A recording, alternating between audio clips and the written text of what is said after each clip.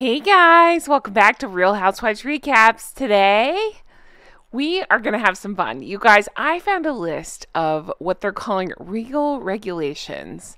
It's basically um, some of the rules that the royal family tend to stick to in terms of dressing and appearance. And we're going to go through them. We're going to see how Catherine gets it right and Meghan gets it oh so wrong. This list is sure to tick some people off. So I'm here for it. Thank you guys for being here. I can't wait to take a look at all this because there's some doozy examples in this one. You guys, thanks so much for being here. Honk honk, everybody.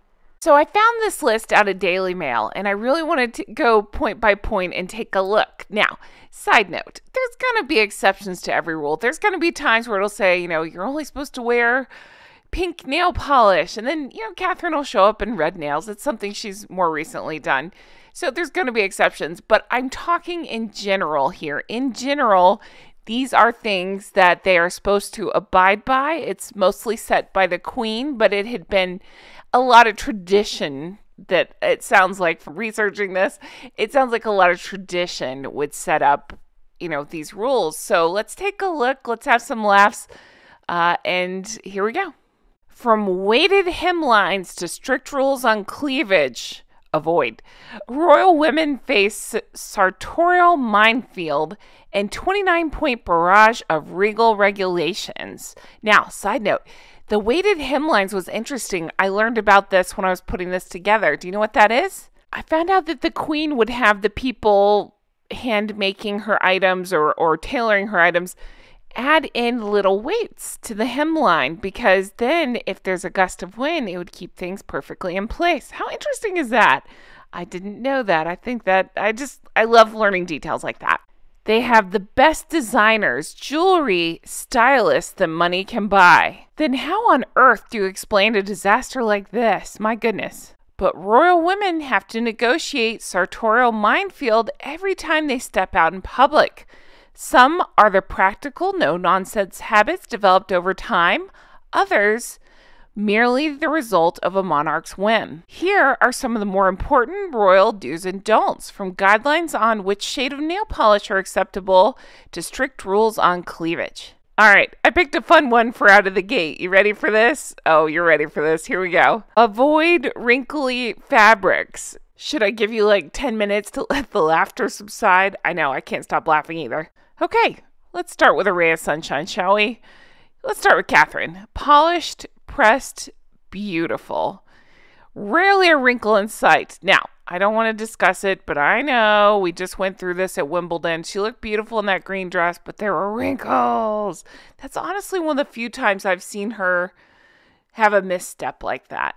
I would say that was the exception. And in general, like I said at the beginning of this video, we see her perfectly polished not wrinkled, very well thought out, very well tailored, fitted. You know, everything looks great on her outfits. Now, let's switch gears on this one. Oh boy, where do we start? I know, I'll start here. I actually have a whole video called Wrinkled where I go over Ooh, the many, many, many, many, many wrinkled looks of Meghan. She loves to wear a white shirt, but it's never pressed right. It never hangs right. It's ne- it's just never right.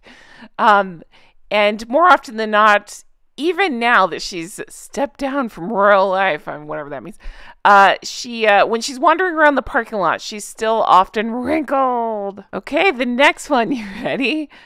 Royal women should always have neat hair. The question I have is I mean, is Meghan like screwing with us? Is she trying to break every single one of these? I think so too. All right, let's take a look. Okay, so for here, I pulled some of my favorite styles on Catherine. It's always neat, shiny, polished. It's, I mean, you rarely see her have a misstep in this department either. Beautiful. I'm actually completely jealous. I would love to have hair like this. Unfortunately, I don't. Okay. Then we have Meghan. My goodness. Um I mean, were we even trying? Again, I do want to point out a lot of the pictures and examples, no, all of them I'm pulling are from her time with the royal family. I'm not even going into how messy it has stayed since she left. I'm talking about as a working royal, if you can call her that, she just continued to get this wrong. Messy. If you don't believe me, I have several videos on this. Go watch it. Messy. Seriously though, what is going on? I've talked about this.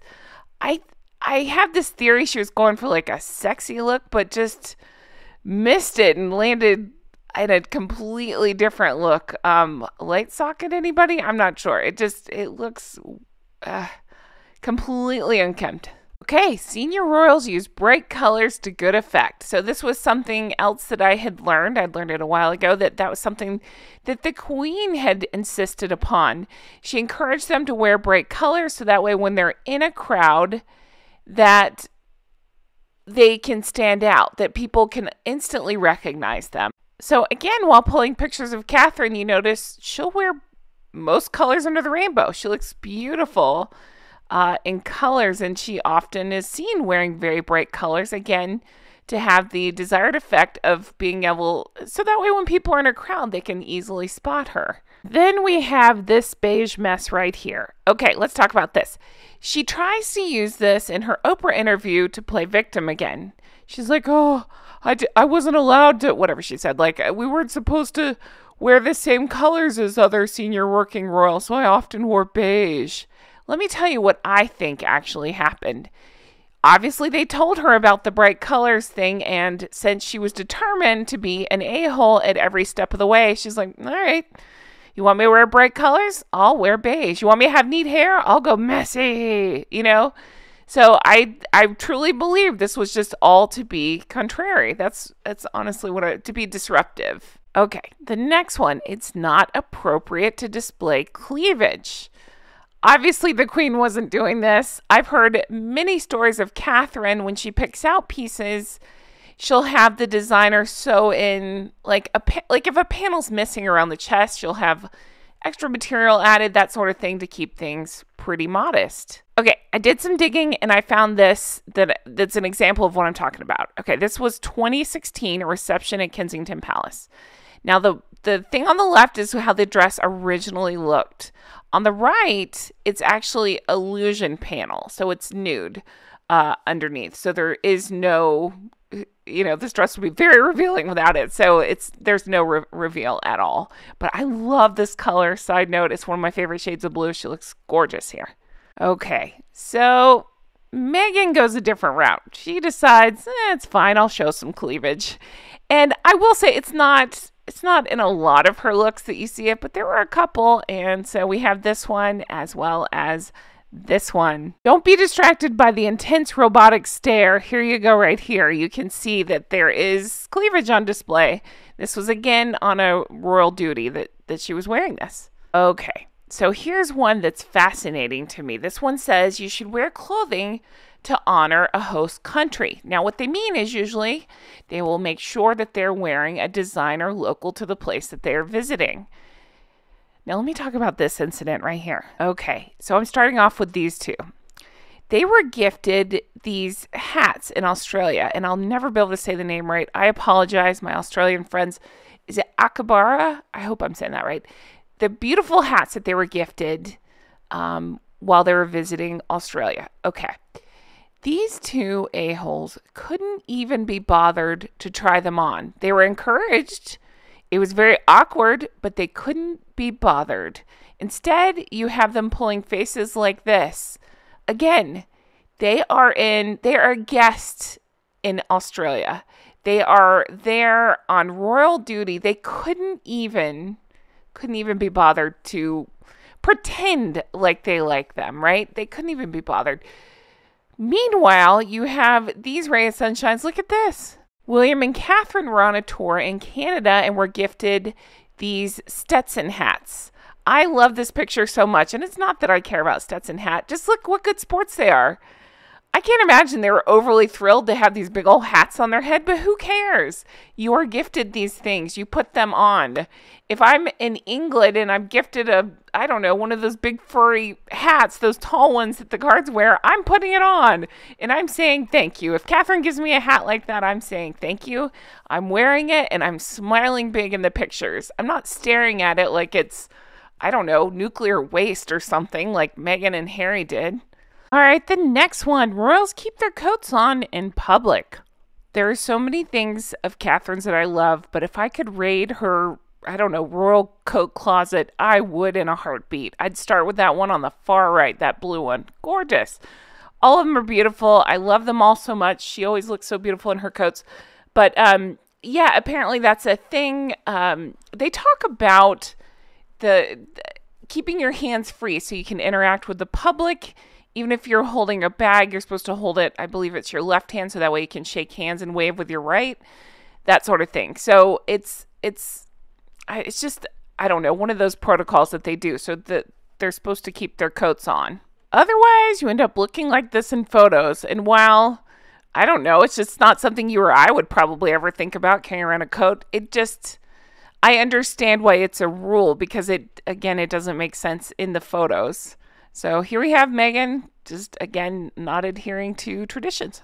Okay, this is another one I didn't know. Clutches only for formal occasions. So from what I could tell from my research, it seems like they match clutches with not matching color. I just mean like clutches are meant to be worn at a formal occasion where you might wear a hat.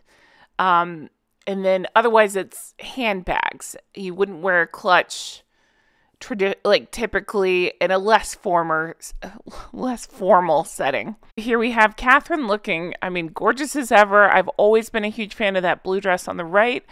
Looking gorgeous with her clutches. Again, she's donning a hat. It's a dressier occasion. She's dressed beautifully, and then she has her clutch here. Oh boy, where to begin? Okay, so we see a clutch, not a formal occasion.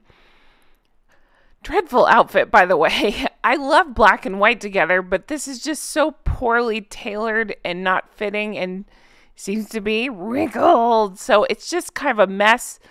If you pan down further, the pants don't fit right. They hit almost at the shin. Very odd look, but um decided to pair a clutch with it.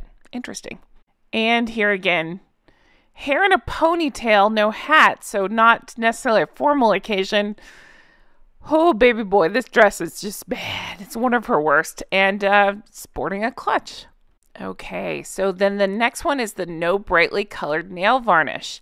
So again, this is a more often than not thing. Occasionally you will see Catherine with bright colored nails, but more often than not, she sports that baby pink color that most of the royal women wear. I believe it's um, Essie, and it's called ballet slippers. That's uh, the one that was favored by Queen Elizabeth. So this is what you'll see in most photos of her. This baby pink or like just almost like a clear varnish. Just the idea being not bright, right? Not distracting. Well, Meghan decided to go another way once again. Seeing as she didn't think that she'd have enough attention, you know, going up on stage, crashing this event, the British, um, what was it, fashion designer event, wearing Givenchy, a French label, might I add, and wearing black, which is not, we'll get into that, it's not traditionally done, but um, for this kind of situation, uh, one shoulder and then doing this, cradling this bump the entire time, won't let go of it. Look at me. Look at me. You know, spotlights on her, just every kind of attention grab she could possibly do, including the black nail polish. This was gone into in depth, and um, I believe they talk about revenge, but I think it was courtiers that they went deeper into it. That at this point she was so just over everything, furious, not listening to the palace advisors at all, and didn't even tell her people that she was going she only let like one person know of her team that she was going to do this. She didn't tell anybody else. Um as she didn't want to be stopped. She just wanted to do what she wanted to do without letting anybody else know. And so I believe all of this was obviously done on purpose, not just for the look at me, which is what she hoped to accomplish. It's more just about I don't uh, being a spoiled brat. You don't want me to wear, you know, a, a weird nail polish color. I'm putting on black nail polish, nail polish color, you know, that kind of thing. Uh, uh, black dresses are for morning. I'm gonna wear one on stage. Uh, British fashion designer, let me throw on something French. You know, it just every possible thing she could do as a giant fu to I, the palace. I wanted to be sure to include Dum Dum Prince in one of these. Men should not have facial hair. Now, I will say it happens, I know. But the queen felt like beards were only appropriate in a handful of circumstances and they needed to be very well trimmed, very neat, and it was only meant for things like when men were away with the armed forces. They were expected to be clean shaven when they get home. So here are some of my two favorite pictures of William and Catherine. I just think, I mean, she looks like a goddess in this dress. I've gone on and on about this dress. I love it so much. I mean, just gorgeous perfection, right? All right. So look at William. He's so handsome. I believe this was a velvet um, jacket that he wore. He just looks so handsome. Very clean cut, clean shaven. Here you go. Beautiful picture of the, cu- the couple. Very happy. I love getting photos like this. I love when we get to see glimpses behind the scenes like this. And then we have this doofus and Dior. You guys, I can't even. He always looks like this now. Just unkempt, a mess, messy. He did when he was officially a working member of the royal family as well, but since then he just he looks awful, right? And I tried to do mostly working photos, but I consider this working because he did go this is at his dad's coronation. He looks like he slept in the suit. It didn't quite fit right. It didn't look right. He continued to make faces like this and he couldn't even be bothered to uh, clean up his facial hair to look like he put in any effort whatsoever. I just think he looks a mess. And here's the happy couple in their candid photo, right? She's always finding the camera and he always looks like this. Okay, the next one hats and headpieces for public outings. So, the way I'm understanding it, if the occasion is considered formal during the daytime, the women are expected to wear hats. So I pulled some of my favorite hats of Catherine, looking gorgeous. I just I think that berry color really suits her, and I like I said before, I'm partial to blue, so I had to pull that one. Look at her hair, look at the style. She looks beautiful, right? Gorgeous. Now let's talk about this. You know where I'm going with this. Okay, first and only royal outing with the queen, right? And it's a big deal. All eyes on her. Now, the story behind the scenes, I believe this came from Lady C's book, was that the queen's, I, I don't know, dresser, somebody that was close to the queen, let Meghan know that she was expected to wear a hat. Basically, the way they did it, they explained, is that the queen's lady would tell Meghan's helper, the queen will be wearing a hat, meaning Meghan should also be in a hat. It's that kind of situation. Well, Meghan threw a fit and decided she knows best, as per usual, did not wear a hat, and uh, Karma did the rest of its job. We have tons of shots like this, which I can't be, I can't find that funnier. You were told to wear a hat, you think you know better than everybody, even on your first outing. I'm telling you, I even said at the time, I've done videos about this, and I said, I don't care what the queen told me to put on my head, I would do it. I, w- I would just do it because it's respect, right? You're there with the queen you don't know more than the queen. She's been there. If she's telling you to wear a hat, you put on a damn hat. But here we have Meghan in photos like these because she can't be bothered. She thinks she knows better and she ends up looking like this. All right, hemline should be modest and practical. Makes sense. All right, so you can see Catherine in a different style dresses, skirts, all that. Um, I will say when she was younger, the hemlines were a little shorter, but then I don't know, as she's matured, they've come down. She looks gorgeous. It seems to make sense and be practical for moving around and not having any kind of wardrobe anything. But then you have Meghan. My goodness. Yeah, she just thinks the rules don't apply to her. Hemline up? Sure. Top of it pulled down? Why not? Right? Messy. Why not? So on a royal tour? Yeah, no problem. Where's that hemline? Don't want to talk about it. You guys, so much going on here. And I understand that during royal tours, we often see the royals. Sometimes they'll dress down for certain things. You'll see William and Catherine hiking, that sort of thing. So I understand that they may have been dressed down here. I just don't think there's any need whatsoever for the slit up to the, you know, where. Okay, the next one subtle makeup only. So oftentimes they go for the minimal and understated look. So you have beautiful pictures like this where they have uh, just that glow, right? She has a glow about her, but not heavy. You can see a little bit more around her eyes, but you know, her lips are left a little bit more natural looking. Oh boy, where do we begin? Okay, holy bronzer. Um yeah, she decided to go a different way. And if it was a one-time thing, I'd say okay, maybe it was cuz it was an evening event. Of course, you're going to go heavier on makeup, but there's a lot going on here. Dark eyes, heavy bronzer, uh, dark lips, a lot. Nothing takes the cake like this look. My goodness. there is a lot going on. I just oh I don't know much about makeup, but I always heard if you go heavy on the eyes, you don't go heavy on the lips, or if you do a bold lip, you go lighter on the eyes. Again, Meghan did not get that memo and decided to go heavy all over the place, including the bronzer. Here's a closer look at the eye makeup if you wanted to see it. Yep. And how come nobody told her about clear eyelash glue? I'll never understand that. There are several pictures where you can see the white glue. And I just think, okay, so she really did piss off everybody and probably did her own makeup here. Thought she knew best. Okay, the next one only wear black at funerals or memorial weekends. Now, that seems to be the general rule, with the exception of evening wear. I'll overlook that because they've both worn black to evening events. I get it. I'm somebody who loves to wear black, so I get that. But I guess for royals, it tends to be that they save it for morning. Here we have Catherine wearing this beautiful black dress. Of course, this was um, for the Queen, and that infamous walkabout that Meghan and Harry tried to spoil. But then we have Meghan, who went a completely different way. You guys, there was more than one wedding. This is a wedding she went to, more than one wedding where she's seen wearing black. Oh, and her bra's hanging out. Nice, huh? Look at the people around her. Look at the people in the background. Colorful outfits. You can clearly see it. This is a wedding. Nope. Meghan decided she'd wear black. All right, the next one. Shoes should always be neat and tidy. Can you imagine where we're going with this one?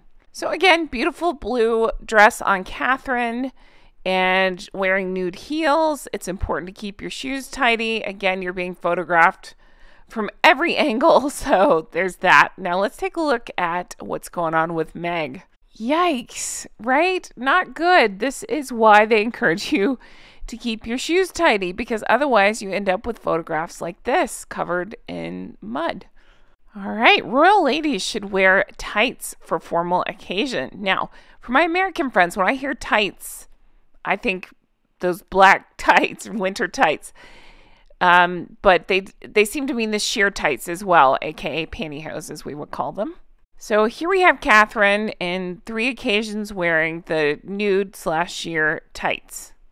And we have this, you guys. This is before Meghan weaponized her spray tan. Um, yeah, no, just doing her own thing here. Who cares about protocol? I do what I want, right?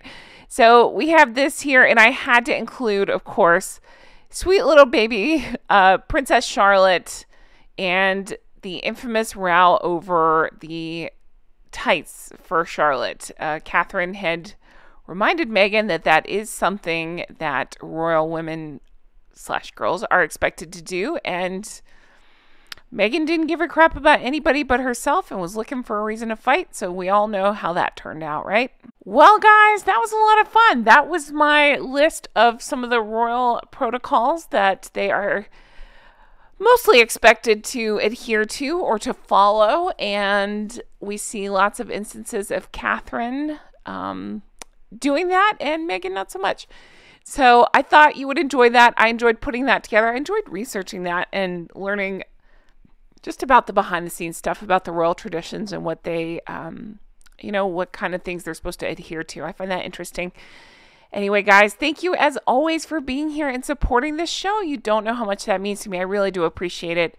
I would highly encourage you to check out the merch. We got um, Drunk Goose Club. You know, I love my Drunk Goose Club. Honk, honk, everybody. Uh, we have Make It Make Sense. Recollections may vary. Or check out Patreon, patreon.com slash real housewives recaps where we do, you know, bonus deep dives, extra stuff, all kinds of bonus content over there. Check that out. If you're into Sex and the City, I'm recapping that as well. I'm almost done with the whole series. I've done all the episodes. I'm into season six now. Not much more to go. I'm really enjoying that. So check that out. Uh, when you sign up, you automatically get access to the back catalog too. So you can sign up for like a month or two and just check all that out. It's it's a lot of fun. Anyway, guys, thank you so much for being here and for supporting. It means the whole wide world to me. If you want to see more like this, please let me know. I love doing ones like this, especially with the fashion fails. I find it so funny and so interesting. And I appreciate you all so much. I can't wait to read the comments on this one. Let me know the hits, the misses, what did I miss, you know, that sort of thing. And I will look for them in the comments. Take care. Bye bye. Thank you